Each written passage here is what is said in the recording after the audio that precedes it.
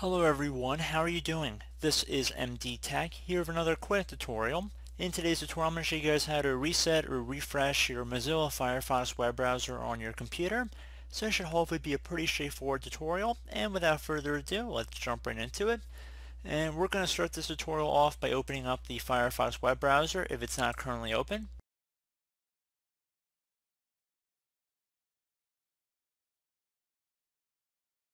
And once Firefox is open, you want to go up and left click on the menu icon, in your top right corner. Just left click on it one time. Go down to where it says help, left click on that, and then go up and left click on troubleshooting information.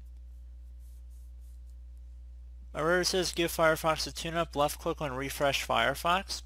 You get a little pop-up here saying start fresh to fix prompts and restore performance. This will remove your add-ons and customizations and restore your browser settings to their defaults. Left click on refresh Firefox. This will take a couple of moments to run so please be patient.